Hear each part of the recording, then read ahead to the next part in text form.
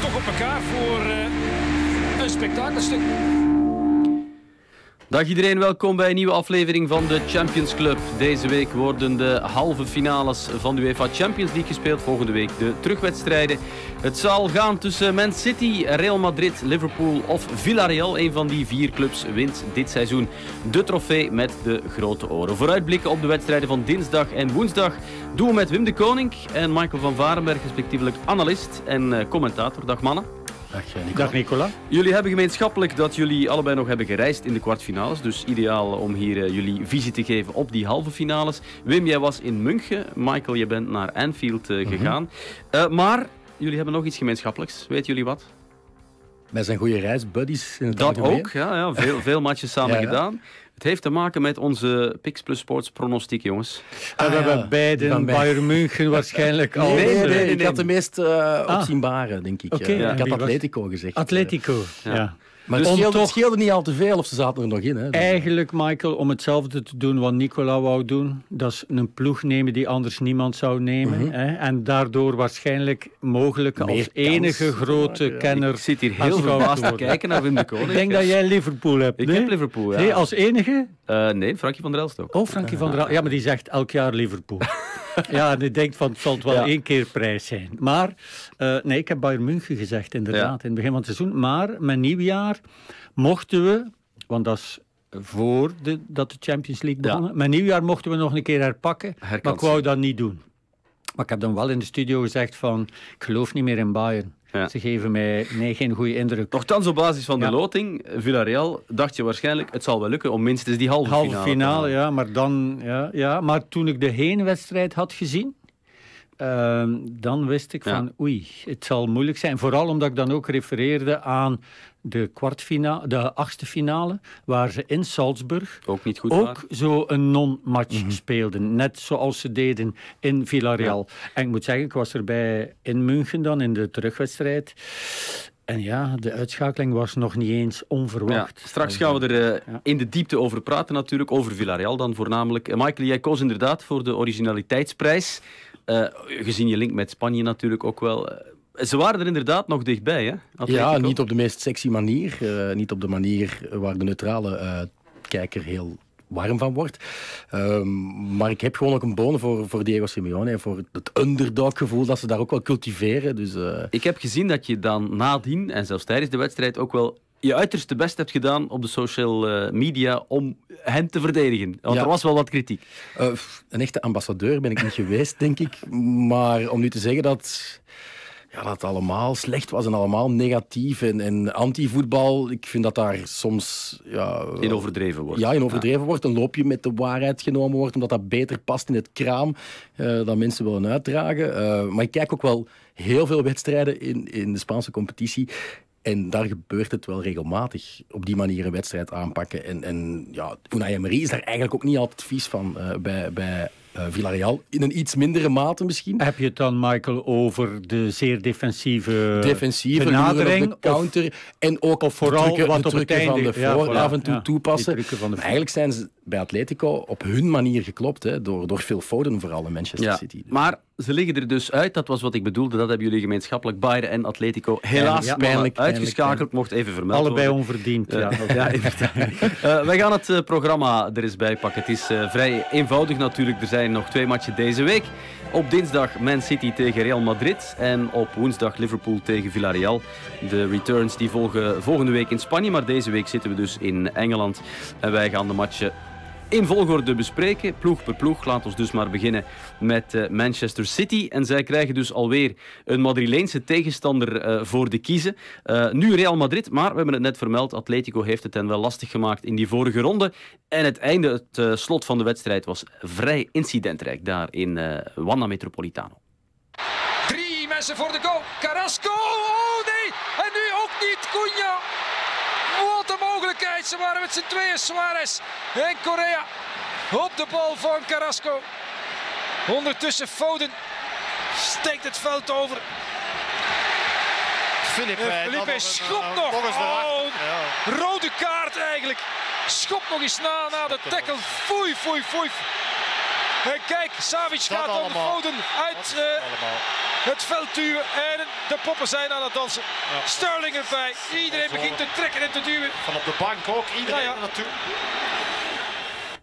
Ja, en op die manier uh, eindigde het nogal chaotisch, maar er werd uh, wel niet meer gescoord. Dus het bleef 0-0 nee. en City ging door.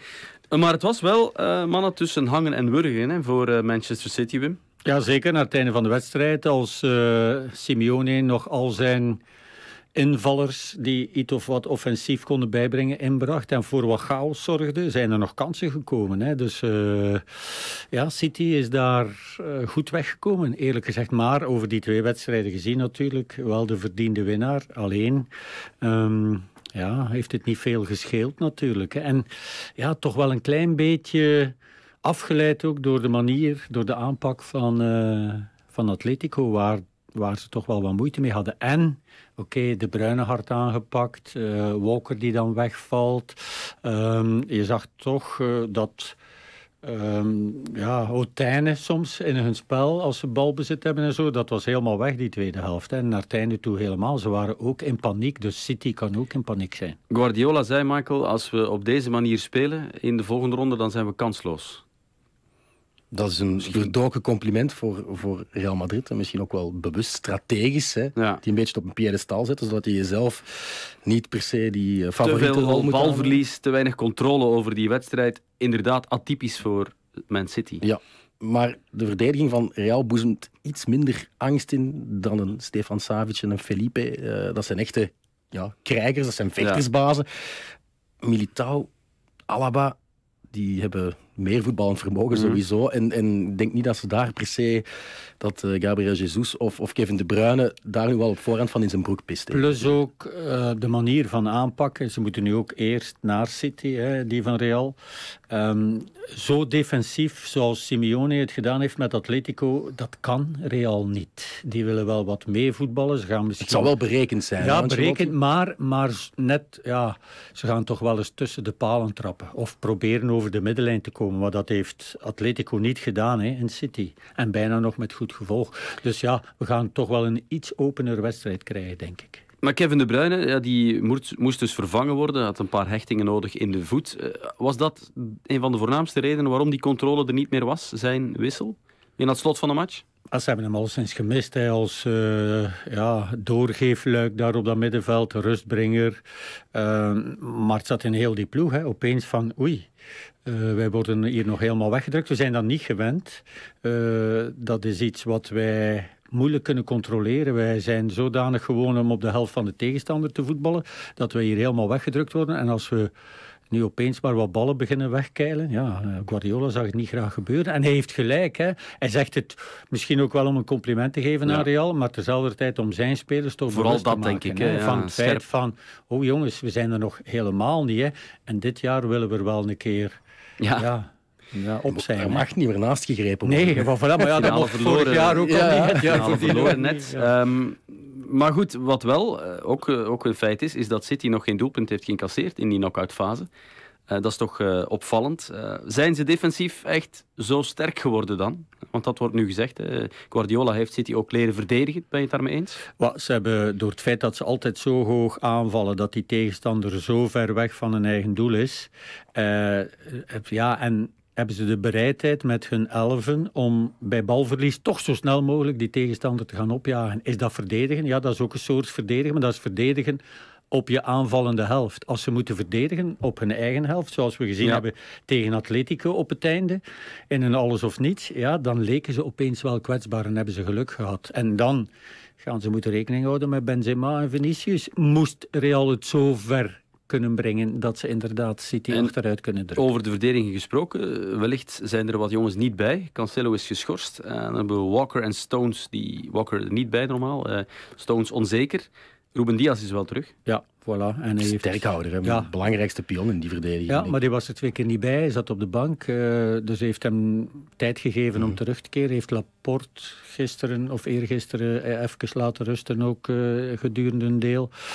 Maar ja, Walker en Cancelo zijn twee zeer belangrijke mensen. Zeker in aanvallend opzicht ook voor, voor City. Ja, Zinchenko zal het dan worden. Stones zal misschien op die rechterkant gaan spelen, zoals hij ook al een keer gedaan heeft. Ehm, Iedereen weet maar al te goed hoe ze, zeker in thuiswedstrijden en in balbezit, wat ze moeten doen, hoe ze moeten lopen, hoe ze toch die eh, opening kunnen creëren. Dat was moeilijk tegen Atletico. Maar ik denk, ja, ik denk eh, dat, dat eh, Ancelotti toch gaat proberen een doelpunt maken. Ook al telt dat doelpunt niet meer dubbel. Ja, hè. ja, maar dat hij toch er gaat voor kiezen om, om niet alleen maar te verdedigen. Dat kan Real niet.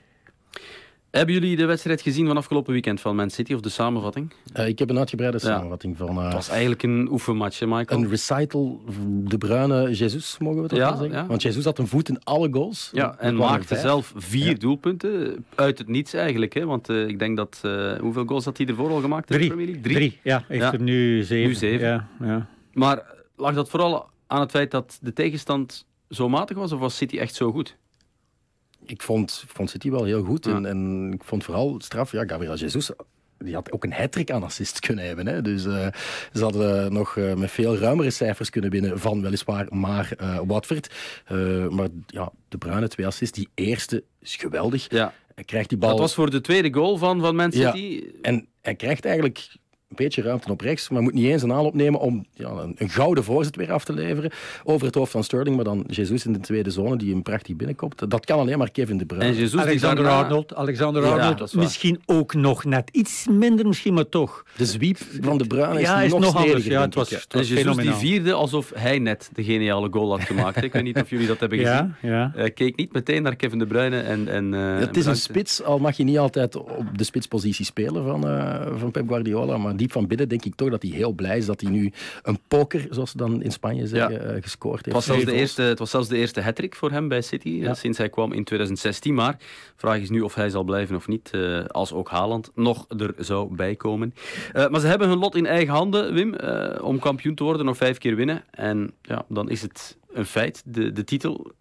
Ze gaan weinig punten laten vallen, denk ik, hè, de beide titelkandidaten daar, City en Ja, Liverpool. nee, maar dat weet City ook wel. Hè, dat ze niks mogen laten vallen, want dat ze die van Liverpool daar zitten op te wachten. Al En- geluk spelen ze niet nog eens tegen Nee, Liverpool. voilà. Ja, ja, dat gaan ze waarschijnlijk wel doen. Misschien in de, In de finale van de ja. Champions League. Maar Maar voor de titel, dat is eh, nadien. Dat is waarschijnlijk nadien. Hè. Eh, maar ehm, ja, vinden het natuurlijk allebei zeer, misschien nog belangrijker om weer kampioen te worden in Engeland dan de Champions League te winnen. Geen idee. Bij Liverpool City niet, wel, bij. City Ja. niet. Guardiola moet ja, echt ja, de moet hem Champions League winnen. Ja, inderdaad. Eh, maar het is wel mooi dat, eh, dat er ja, zo weinig verschil is tussen die twee ploegen. En ook ah, hun manier van voetballen is een beetje identiek. Dat gaat toch ook vier jaar terug of zo, dat het verschil ook maar enkele punten is tussen ja, Liverpool en, eh, en Manchester Ja, City. dus, maar nu liggen ze echt heel erg dicht Mhm. bij elkaar. En ook, eh, want ja, je vraagt het niet, maar wij denken allemaal dat Liverpool City, dat dat uiteindelijk Ja, de de finale, van de Champions worden, League gaat worden. L- ja, voor mij mag het iets anders zijn. Hè. Laat- Villarreal, Real laat- Madrid. Ja, voilà. Ja, oké, Spanje kennen. Ja, ja. hè. Eh, dat zou kunnen, maar ehm terzelfde tijd, ja, finale tussen twee ploegen van hetzelfde land eh, heeft altijd iets minders, ja, vind ik toch. Want ik was er ook bij voor Liverpool tegen eh, Tottenham. Ja, was ik in, eh, waar was het? In Madrid, op Atletico. Ehm, en dat was, dat was een beetje een. Ja. Eh, goed, omdat Tottenham ook niet goed genoeg was. Nu ja, Liverpool en City. Ik zie geen verschil meer tussen die twee ploegen Mhm. qua kwaliteit. Alright, we gaan het zien. City speelt dus tegen eh, Real Madrid. Zij hebben eh, Chelsea uitgeschakeld. eh, maar het zag er op een gegeven moment echt wel niet zo heel goed uit hè, voor de Koninklijke. Kanté krijgt het niet over het hoofd van Alaba. Modric. Buitenkantje voet voor Vinicius, voor Rodrigo! Heerlijk! Heerlijke goal, geweldig gedaan! Wat een doelpunt om Real weer langs zij te brengen. Rodrigo neemt hem ineens en plant hem in de benedenhoek. Ja, Kanté liet betijen en Camavinga vindt hier Vinicius. Vinicius, Benzema, daar is hij! Daar is Benzema! Het duo doet het opnieuw! Vinicius en Benzema voor 2 tegen 3. En een voorlopige plek in de halve finale. Ja, het was 0-3, het werd 2-3. Dat was de eindstand daar in uh, Madrid. En zo 5-4 over twee duels. En dus toch Real Madrid naar die volgende ronde. Uh, maar, wat ik zei, uh, ja, het zag er heel slecht uit. Hè? Bij 0-3 ook nog een doelpunt afgekeurd van Alonso. Hadden jullie het dan nog verwacht, eerlijk gezegd? Nee. Ja, jawel. Het is ja. Real Madrid op ja. metier. Dit is nee. een competitie. Ja, maar waarom heb je dan Atletico als mogelijkheid gezet, Michael, en niet Real? Dat is omdat ik dat niet over mijn supporters hart Ah, oké, okay, goed. Nee, ik had eerlijk gezegd niet meer verwacht, maar ik had ook niet verwacht dat ze de ronde voordien uh, ja. tegen PSG. En misschien ook niet doorgaan. verwacht dat ze 0-3 zouden achterkomen, of wel? Nee, dat ook niet. Ja. Nee. nee, ik dacht van uh, na de heenwedstrijd, ja, het is, het is gespeeld. Hè. Vooral omdat ik Chelsea tegen Lille had gezien. Ik denk met Michael ook eens. Nee, mm ja. uh, Chelsea met twee keer echt niet kon overtuigen. Dus dat ze daar opeens 0-3 voor stonden in Real, zegt ook iets over de zwakte, sterkte van Real om, om zoiets te gaan verdedigen. Vandaar dat ik ze tegen City ja, niet hetzelfde zie doen zoals Atletico heeft gekund. Met andere woorden, ja, ik geef ze weinig kans om door te gaan naar de finale. Maar het zijn de koningen van de, van de ontsnapping. Hè. En Michael, jij gaf een paar dagen later, of je hebt die match misschien gevolgd, ik weet niet of je commentaar gaf, uh, Osasuna, uh, sorry, Sevilla tegen Real Madrid. Ja, nee, ik heb die gevolgd. Gewoon, 2 tegen 3, ook daar eigenlijk weer zo'n uh, Houdini. Ja, ja, een Houdini-ontsnapping ja. inderdaad. Ja. iedereen spreekt in Spanje over de gouden pik van Xavi. dat is dat is de laatste voorbij. weken helemaal voorbij. Maar het is Ancelotti die, uh, ja, die meer het geluk aan, ze, aan zijn kant heeft. Um, hij gaat ook uh, ja, waarschijnlijk volgend weekend kampioen worden. Is hem niet gelukt in zijn eerste periode als, als coach van, uh, van Real Madrid. Dan heeft hij wel een landstitel behaald in vijf Europese kampioenschappen. Daar moet je al tonnen respect voor hebben. Um, ze hebben dan een punt genoeg tegen Espanyol. maar ik denk dat Real Madrid ze zijn zeker van die titel toch nog veel harder, harder aast op uh, de scalp van Pep Guardiola. Dat de supporters daar veel harder van wakker liggen. En, en ik geef ze eigenlijk wel, wel een deftige kans ook. Ja, toch wel jij.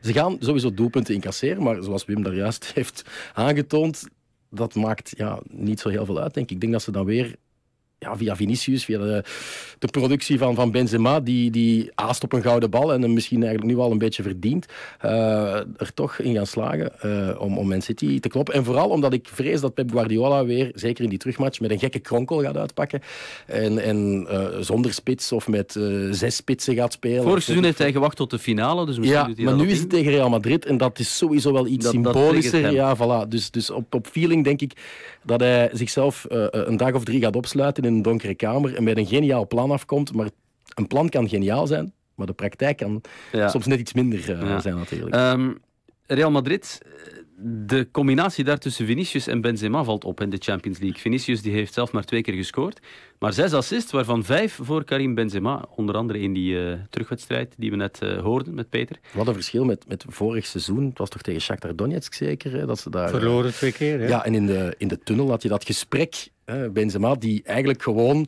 tegen ploegmakers zei, je moet Vinicius niet aanspelen. En Courtois stond erbij en keek er wat raar naar terecht, want het was niet echt collegiaal van Karim Benzema. En dan nu die evolutie doorgemaakt alsof het de beste vrienden zijn. En dan, dan mijn uh, chauvinistisch hart bloedt dan een beetje dat dat niet Eden Hazard is die die connectie ja. heeft met Karim Benzema. Want je had nog een goede statistiek over Real Madrid en Hazard, dacht ik. Uh, ja, uh, sinds de komst van Eden Hazard gaat Real Madrid evenveel titels pakken als het nu lukt. Dus, uh, ja, dat dan in het voorbije gaan, decennium voor de komst van Eden Hazard. Dus, dus, dat is een duidelijke invloed van ja, onze land. Hij heeft een impact gehad op de club. Dus, uh. Maar nu we toch over hem bezig zijn, hij is uh, weer aan het meetrainen, want we werden een beetje misleid door de aanvankelijke berichten. Mm -hmm. Seizoen voorbij, maar dat blijkt niet zo te zijn. Misschien haalt hij nog die terugwedstrijd. Ja. Denk je dat dat kan? Fit zal hij misschien wel zijn, maar of Ancelotti voor hem een plekje heeft op de bank. Ja. Maar nu hij een nieuwe Hazard is, zonder plaatje in die enkel, wie weet. Ja, misschien ja. laat hij op training, als ze nog wel veel trainen, maar dat denk ik niet. Nu wel natuurlijk, omdat ze een tijdje niet gevoetbald hebben. Uh, als hij uh, dingen laat zien wat hij in huis heeft en wat hij vroeger kon. Misschien dat hij het dan toch wel nog even overdenkt. Om, dat lijkt me uh, wel kort dag, hè? dus het ja. zal vooral naar volgend seizoen toe zijn. Nu maar een goede voorbereiding doormaken. Ja, maar heeft net als uh, Ancelotti is maar blijven pochen en, en stoeven met met uh, Hazard. Hè? Net zoals uh, onze vriend Klopp doet met Origi. Hè? Ja, ja, maar, ondertussen, maar ondertussen stellen ze hem weinig ja. op. Hè? Um, ja, Real Madrid heeft zich geplaatst en dat is natuurlijk ook wel voor een groot deel te danken aan onze landgenoot Thibaut Courtois. Onze nationale nummer 1 heeft gesproken met een collega-journalist van het uh, Champions League magazine. We luisteren even mee. Les dernières 2-3 ans, je suis en train de jouer sur un très très haut niveau. J'aime pas dire que je suis le meilleur parce que ça, c'est des experts, des analystes. Ça dépend, un va préférer un autre gardien, un va préférer à moi, un autre va dire que je suis un des pires. Mais bon, en général, je crois que je suis un des meilleurs. Ja, het is een typische nuchtere analyse van Thibaut Courtois, die uh, grootspraak altijd schuwt. Uh, un des pires, dat zal wel niet, denk ik, een van de slechtste. Uh, maar zonder hem stonden ze ook niet in de halve finale, laat ons duidelijk zijn. Nee, heeft heel. En, en stonden ze in Spanje ook niet zo afgescheiden aan de leiding. Hè? Dat, is, uh, dat is wel zo dat die uh, samen met Benzema zijn dat de twee spelers die het verschil maken bij Real. Hè. Uh, Ik denk vandaar dat... dat... we moeten hopen dat Benzema bijvoorbeeld niet geblesseerd raakt. Ja. ja. Uh, maar, volgend seizoen gaat Courtois toch niet meer pas vijfde zijn in de verkiezing van keeper. Nee, van, of niet, uh, was niet bij de top 5. Was niet eens in nee, de was top niet eens 5, in de top 5. Nee, de invloed welke hij gehad heeft op waar ze nu staan is veel groter dan van om het even welke keeper, andere keeper bij een andere ploeg. Dus wat dat betreft is hij de beste van de wereld ja. momenteel. Benzema mag niet geblesseerd geraken, maar nee. ook Alaba en uh, Casemiro zijn onzeker. Dus hopelijk voor Real Madrid geraken die fit. Want dat zal toch een bepalende invloed uh, hebben, denk ik. Goed, we gaan het hebben over die tweede halve finale Liverpool tegen Villarreal op Anfield, woensdag. Um, de Reds die zijn nog in de running voor de historische quadruple. Ze hebben de League Cup gewonnen. In de FA Cup uh, staan ze in de finale. en ze zijn ook nog in de running in de titelstrijd en in de Champions League. Ze hebben natuurlijk Benfica uitgeschakeld in de kwartfinale. En dat was ja, mede te danken aan een geweldig sterke eerste helft van de heenmatch in Lissabon. Andy Robertson. En daar vrij kopkans en het doelpunt. En Liverpool verdient 0-1 voor... Goed ingespeeld door Grimaldo. Slechte kaats. Tarap. Van Tarapt. En daar is Liverpool met de 0-2. Ah, geweldige tegenstoot, geweldige lange bal. En dan ligt het plots helemaal open door dat balverlies van uh, Tarapt. En Liverpool uh, profiteert meteen. Een sterke eerste helft in Lissabon. Michael, jij ging dus naar Anfield voor de terugwedstrijd. Maar eigenlijk was dat een overbodige uh, terugwedstrijd. Ja, het scoreverloop doet uitschijnen dat het nog spannend kon worden. Maar toen we daar zaten, hadden we nooit echt het gevoel dat we naar een, een absolute topper in de Champions League aan het kijken. Je had echt het, de indruk dat het een soort veredelde oefenpartij was. Het was voor, ook niet het A-elftal van Klopp, hè, van Liverpool. Nee, nee. Um, Roberto Firmino, uh, die speelde wel goed, die startte. Maar ik heb net de beelden gezien. Luis Diaz, uh, Salah en Mané. Ik ben geneigd te zeggen dat dat de perfecte tridente is van, van Klopp. Ja. En dat Jota dan nog eventueel een wisselpion is daarvoor. En dat Firmino het kind van de rekening wordt eigenlijk. Maakte toch... wel twee goals in die wedstrijd. Ja, hè? Ja. Ja. 3-3 dus, uh, werd het. Hè, op ja. Dus maar, goals heb je wel gezien. Ja, maar uh, Klopp op een gegeven moment zal hij toch wel gedacht hebben van oei, wat is hier aan het gebeuren? We moeten zien hij dat heeft ook alle kanonnen erin gegooid. Hè? Ja, tuurlijk, want het werd 3-3. Er werd nog een 3-4 afgekeurd, terecht buitenspel wel. En er was nog een geweldige save van Alisson Becker mm -hmm. op een uithaal van, van, uh, van Darwin ja, Núñez. Wat vooral uh, ook opviel was hoe belangrijk Virgil van Dijk is voor, ja. voor de stabiliteit achterin. achterin. Want, want Matip, we hebben dat nu ook tegen Everton gezien Zien, uh, in het weekend. Hij durft toch wel eens met een niet al te geniale ingeving uh, in de eigen baklijn uitpakken. Uh, en ook Konaté, Konaté moet trapte ook ernaast, worden, ernaast door, door in, uh, Van in Benfica, ja. waardoor Benfica dat nergens was, opeens in ja, de wedstrijd kwam en Liverpool een half uur echt wel heeft afgezien. net zoals City afzag op het einde tegen, tegen Atletico, toonde Benfica daar van... Mm, ja. Er, ja, dat het met dat verschil kan. denk ik, Wim, dat Liverpool ja, niet met zijn beste ploeg speelde in die return en dat, dat ja, City dat wel ja, deed. Ik denk niet dat ze echt met een ei in hun broek zaten, die van Klopp. Dat, dat gevoel... In de heenwedstrijd. In de terugmatch. Ja, maar in de heenwedstrijd werd het 2-1, eh, 1-2, Ja. ja, vlak naar rust, omdat Konaté naast de bal trapt. En dan heeft Klopp drie wissels gedaan. Mané, Salah eruit gehaald en ook Thiago, Thiago eruit gehaald. En, en heeft hij eieren voor zijn geld gekozen. Maar had dat niet hè? te maken Wim, met een beetje al te zelfzeker zijn Ja. na een geweldige eerste, Eerste helft? helft misschien wel, misschien wel. Terwijl zo'n ploegen zouden moeten weten dat in voetbal, en Klopp weet dat maar al te goed, en ook Guardiola veel mogelijk is en dat er niet veel moet gebeuren om een Het wedstrijd zat te ook doen in die drukke kalender waar ze Ja, heel veel tegen Manchester City moesten spelen. In competitie in de beker, daar zat daar, ja, dat duel tegen Benfica middenin. Dus, ja, maar dus het blijft druk, hè. dus Ja. toch moeten ze maken dat ze... Want ook Ja, ja, maar- af- afgelopen weekend hè, hebben ze het ook moeilijk gehad hè, tegen, tegen ja, Everton. dat was hun minste prestatie van de jongste weken, ja, denk ja, ik. zeker. Ja, ze wonnen met 2-0 van Everton in die Merseyside derby. Het was niet zo evident, maar eh, onze landgenoot Divock Origi die mocht invallen. Eh, en hij was ook beslissend. Hij gaf de pre-assist voor de eerste goal en hij maakte zelf de tweede goal. En Jurgen Klopp die, eh, was inderdaad, jullie hebben het al aangehaald daarnet, eh, achteraf lovend voor eh, Origi. In midweek, you spoke about Divock Origi. You said he's already given me my one of my favourite Liverpool memories, and he's, what he does from us from the bench is just extraordinary. Doesn't always start. Has he done it again today? Yeah, whatever will Div will um, do in his future, um, um, if he gets back for what what he's doing here for Liverpool, he we probably will will never ever miss a player more than Divock Origi because then he will just explode wherever he goes. So it's a, he's a, he, honestly he's a world class striker. He is, um, and he's not playing regularly here. And even sometimes he doesn't make the bench, which is absolutely ridiculous. Um, but when he's asked, I mean, when we when we need him, then he's always there. He is a legend and will stay a legend for me forever. Um, and what he did today again. To, to, involved in both goals. Um, with all the things we did better in the second half, without Divock, it probably wouldn't have happened. Ja, de krant The Telegraph noemde hem vanmorgen de King of Cameo's. Want hij heeft eh, nog niet veel meegespeeld dit seizoen in de Premier League. Maar toch al een paar belangrijke goals gemaakt. Tegen Wolves bijvoorbeeld. En nu dus tegen Everton. Maar ik zag hier eh, Michael Wim. Die, die was hoofdschuddend aan het luisteren. Want hij gelooft er geen snars meer van. Ja, van alsof die ze nu al eh, de eerste stenen aan het leggen zijn van het Origi-standbeeld buiten het stadion. Eh, hij praat er ook altijd over alsof Origi in één adem genoemd mag worden met Dalglish, met, met, met Gerrard bijvoorbeeld, club met Ian legends, Rudge ja. als echte, echte clublegends van Liverpool. Met alle respect, hij heeft belangrijke goals gemaakt. Champions League finale. Voilà, ja, ja. Barcelona ook mee uitgeschakeld. Eh, dus, dus hij heeft zijn verdiensten gehad, maar je kan toch niet met een uitgestreken gezicht in de wetenschap dat hij alleen maar van die korte cameo's krijgt. En hij is captain clutch. Hij, hij- hij doet altijd wel iets als hij erin mag komen. Maar je geeft hem nooit de kans, zelfs niet tegen de kleinere ploegen, om vanaf wedstrijd minuut 1 in die basis te staan met het volledige vertrouwen. En dan kan je toch niet achteraf zeggen van ja, hij Ja. is geweldig, hij is een clublegende. We gaan hem hier keihard missen als hij vertrekt. Want vertrekken zal hij. Hè. Ja, Dat want wel, ja. oké, diepe spits hebben, maar dan heb je de mensen die voor hem staan, Jota, Firmino, Mané, die regelmatig, die stond bijvoorbeeld in eh Benfica Diaz. als, als diepe spits, als diepe spits. Ja. dus hij is eigenlijk vierde man als diepe spits. Hè. Eh, goed, en omdat Firmino er gisteren niet bij was en dat hij andere jongens wel wil laten rusten, en omdat hij tegen Everton heel veel doelpunten maakt, hè, eh, mocht hij opeens invallen. Hij, hij was wel beslissend, hij was heel erg goed. Zesde goal was het al Ja. tegen Everton. Alleen Gerrard heeft er meer Ja, gemaakt in ja. de derby. In negen wedstrijden, zes keer tegen Everton. Als je zoveel scoort, dan moet je eigenlijk altijd starten in die derby. Maar eh, heel dat stadion, dat was toch wel opvallend. Op een gegeven moment, als hij aan het opwarmen was, is heel dat stadion zijn naam beginnen scanderen.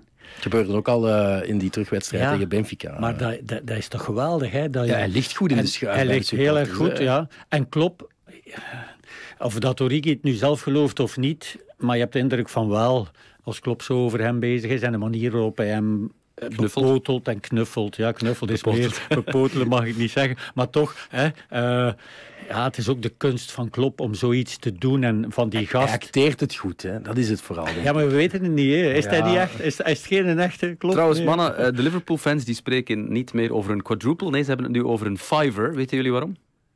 Ehm, De Supercup die nog te- Ja, WK voor clubs er ook bij? Nee, nee, nee, nee. Het gaat over een mogelijke degradatie van Everton. Everton. Ah, Als Ah, dat ja, gebeurt, ja. dan Die vinden staan ze nu dat bij de onderste drie. dat dat gelijk staat aan nauwe een trofee. Goed, we gaan het hebben over de tegenstander van Liverpool. Eh, dat is de verrassing natuurlijk bij de laatste vier. Villarreal. Eh zij hebben eh, tegen Bayern München toch wel gezorgd voor een fikse stunt. Inschuivende Lo Celso. Dat is net geen buitenspullen, want Davies is blijven hangen, denk ik. En hier de kans en de goal. Chukwueze met de 1-1 en eh, de scheidsrechter keurt voorlopig goed. Geen vlag van de grensrechter. 1 tegen 1 op uh, ja, goed twee minuten van het einde. Ja, Wim, jij was daar live bij uh, met uh, Wilfried Mostings, die mm -hmm. we hoorden. Um, ja, een stunt, hè. Villarreal met een late gelijkmaker. En jullie hebben, Kali Fadiga was ook ja, mee, jullie ja. hebben voor de wedstrijd met spelers van Villarreal gepraat. Ja. Zij waren heel erg gemotiveerd. Leg nog eens uit. Ze waren opgenaaid door Nagelsman. Die gezegd had van ja, ze hebben één zaak verkeerd gedaan in de heenmatch, die van uh, Villarreal. Ze hebben vergeten ons af te maken. En we gaan hen dan nu een keer betaald zetten. Dat gaat hen nog wel spijten. En dat heeft uh, Oké, okay, dat hebben ze. Emery zal dat wel gebruikt hebben. Hè? Iets uithangen in de kleedkamer en zo van alles. Uh, Aurier en Sar, die kwamen naar ons. Die kwamen eigenlijk naar Khalifa ja, Fadiga. Iedereen komt naar Khalifa Fadiga. Ja, uh, dat is een Senegalees en een Malinees zeker. Um, en die, dat ging maar over, dat was voor de wedstrijd, maar over één onderwerp. En dat was Nagelsman en Bayern en met een dikke nek. En we gaan ze eens een keer ja. laten zien. En wat denken zij wel? En, en voilà, dat heeft, dat heeft gewerkt. Hè. En ook na de match zijn ze daar bij Villarreal nog altijd uh, over bezig? We hebben vorige week naar een media day van Villarreal collega Jonathan Ancio gestuurd. Die kon praten met Etienne Capou en ook hij had het daar nog over. Elle a beaucoup joué, elle a beaucoup joué. Nous, on se prend pas pour des grands joueurs, on le sait, mais ça nous donne une motivation quand même. Et je pense que le football, c'est un sport qu'on qu doit respecter. Et eux, ils ont fait preuve de, de non-respect. Après, c'est tout à leur honneur. Hein. Je comprends que logiquement, sur le papier, Bayern doit gagner aller-retour. Mais à l'aller, on a fait tellement un beau travail que je pensais pas qu'ils allaient, on pensait pas qu'ils allaient dire ça dans la presse avant le match retour. Et on n'a vraiment pas compris ça parce qu'on leur a montré ce qu'on pouvait faire. Mais non, ils ont voulu continuer ça nous a donné encore un, boost pour euh, encore mieux défendre, pour mieux s'acharner sur tous les ballons. Donc euh, pour nous, c'était que du plus. Ja, de volledige reportage met de Franse 33-jarige middenvelder die ziet u woensdag in onze voorbeschouwing op Pix Plus Sports. Maar, Michael, het gaat dus over die misplaatste, uh, volgens uh, Capoe, uh, arrogantie. Je kent Emery. Denk je dat Wim gelijk heeft dat hij dat psychologisch bijzonder sterk heeft aangepakt? Want als het zo'n grote rol speelt... in de eerste plaats tactisch bijzonder ja, sterk aangepakt. Ja. Want dat is ook wat Capoe nu net zei. Hè. alles viel eigenlijk gewoon in de juiste plooi. En wat ik vooral opvallend vond aan die hele wedstrijd was de keuze om met heel veel centrale middenvelders te starten. En zo zette hij eigenlijk gewoon de centrale as van Bayern München volledig vast. Daar was geen doorkomen aan. En ja, het klopt ook wel dat ze misschien Bayern niet hebben doodgemaakt. Ze hadden met 3-0 kunnen winnen. Hè, ja. Als Danjuma in de tweede helft net iets scherper is. 2-0. Ja, ja, goed, maar goed, ja. Gerard Moreno trapt ook nog tegen de paal. Okay. Niet alles kan binnenvliegen. Nee, nee, maar, maar ik wil zeggen, ze moeten volgens mij eenzelfde manier toepassen. Uh, nu tegen Liverpool proberen toch gewoon dat middenveld helemaal te blokkeren. En, en het enige probleem is dat ze nu geen Gerard Moreno hebben om eventueel ja, op een, een snedige counter uh, toe te slaan, want die, die is niet inzetbaar. Dan komt Trigueros in de ploeg, net een ander type natuurlijk, maar, maar wel complimenten voor Unai Emery, uh, dat hij het mentaal waarschijnlijk ook wel goed heeft aangepakt, maar vooral in de eerste plek tactisch uh, heel goed die wedstrijd heeft uh, Als Trigueros in het team komt, dan schuift Lo Celso door? Ja, ja. Als een soort ja, valse aanvaller, denk ik. Maar goed, ze hebben natuurlijk ook nog Danjuma rondlopen, mm -hmm. die uh, twee keer gescoord heeft, dacht ik, in de derby tegen Valencia. Valencia. Die zijn marktwaarde, ik, ik schrok daarvan, volgens Transfermarkt, oké, okay, 50 miljoen. En dat kwam misschien van 10 ja, Ergens 15 toen ja. hij uh, aangetrokken is. Uh, ja, oké, okay, hij scoort natuurlijk in de Champions League. Is, is uitblinker geweest in deze campagne. Geven jullie ze kans om nog eens te stunten? Straks gaan we, gaan we echt het resultaat uh, pronosticeren, dat weten jullie. Maar maken ze kans? Ja, ik heb na de uitschakeling van Bayern daar onmiddellijk al in de conclusie gezegd van een tweede keer. Want we wisten al dat ze tegen Liverpool ja. moesten. of ja, we gingen ervan uit dat het tegen Liverpool was. Ehm, een tweede keer op deze manier manier zo'n ploeg uh, elimineren wordt heel erg moeilijk, maar onderschat ze niet. Hè? Onderschat ze niet. Ik moet zeggen, Liverpool heeft wel een hele goede generale repetitie gekregen tegen Everton afgelopen zondag. Een stugge tegenstander. Ja. En die zaten ook met elf in hun eigen baklijn, net uh, dezelfde man. Want ja, iedereen heeft dat nu gezien, hè, hoe Emery ploegen die veel beter zijn toch uitschakelt. Want hij heeft ook Juve uitgeschakeld, niet vergeten. Uh, en dus proberen het op dezelfde manier. Alleen mag je geen enkel steekje laten vallen. Mag je nooit in de fout gaan. En dat hebben ze in die twee wedstrijden zo goed als altijd gedaan. Hè. Alleen dat ene, die ene keer toen Lewandowski dan toch kon scoren. Maar voor de rest hebben ze alle sterke punten bij Bayern gewoon uh, lam gelegd. Ja. ja. volledig lam gelegd. En hij heeft het gewonnen op, uh, tegen Nagelsman op tactisch gebied. Nagelsman bracht ook helemaal op het einde nog Alfonso Davies in terwijl uh, Unai Emery inbracht. En wat gebeurt er in de beslissende goal? Davies staat achter zijn verdediging, dus een slechte wissel, alles bij elkaar. En Chukwueze maakt bij zijn eerste uh, toets, zijn eerste de baltoets, de, de, goal die uiteindelijk uh, beslissend is, dus Unai Emery. En ik moet zeggen, het was uh, heel erg tegen zijn zin dat Nagelsman met een zeer lang gezicht toch nog geprobeerd heeft om bij Emery te gaan, om hem te feliciteren. Maar hij, ja, hij was echt wel hard aangeslagen en dat zal hem in Duitsland niet in nee, afgenomen worden. Maar we zitten bijna door de tijd heen. Michael, nog twee dingen. Villarreal probeert geen munt te slaan hè, uit dat Europese succes. Ze bieden hun supporters uh, waar voor hun geld. Ja, uh, de toegangsprijzen in thuiswedstrijden zijn al zeer goedkoop. Als je het vergelijkt met andere uh, Champions League teams die woekerprijzen aanrekenen voor, voor supporters. ik denk zelfs onder de 26 jaar dat je voor 10 euro een toegangskaartje kreeg voor de wedstrijd tegen Bayern München. En nu hebben ze een, een reis voor hun supporters naar Liverpool georganiseerd voor de schappelijke totaalprijs van 300 euro. En dan krijg je een vliegticket eh, naar Engeland, vervoer eh, van en eh, naar de luchthaven, ook vervoer van je woonst naar, uh, naar het stadion om daar eigenlijk de bus te nemen naar de luchthaven. Uh, overnachting staat er denk ik niet bij, maar het ticket zit er wel bij. Dus uh, dat is eigenlijk niet heel veel geld om toch een, een, een, wondermooie verplaatsing naar Liverpool te maken. Als je niet in Manchester Airport terechtkomt natuurlijk. Ja, al heeft Gary Neville daarover getweet, dus misschien gaat er wel iets veranderen als ook die begint te klagen en Icon in Manchester. Goed, het is tijd voor onze pronostiek. We gaan eens onze glazen bol, kristallenbol bovenhalen. Prono.